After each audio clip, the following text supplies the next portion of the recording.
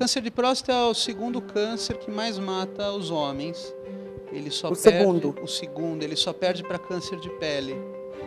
É, então, ele tem que ser visto como uma preocupação é, populacional, é, tanto para a parte pública como para a parte privada. Vale a pena investir em prevenção. É, a prevenção do câncer de próstata ela é razoavelmente simples. Então, quando a gente fala que os homens com 50 anos têm que ir no urologista, eles têm que ir no urologista para serem examinados, fazerem um exame de toque, que é um exame super simples, que demora 30 segundos Só isso. e só, e acaba esse mito.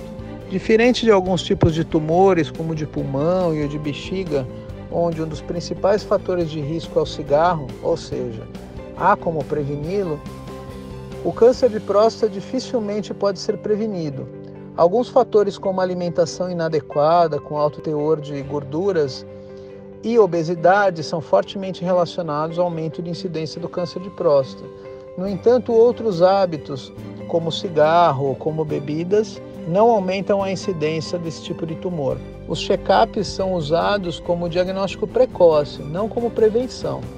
A ideia de avaliar um homem todos os anos é que se esse homem for diagnosticado com tumor de próstata, que esse diagnóstico seja feito o mais rápido possível, aumentando as chances dele de tratamento eficaz e de cura. A ideia de prevenção é evitar uma doença. No caso de câncer de próstata, é feito o diagnóstico precoce.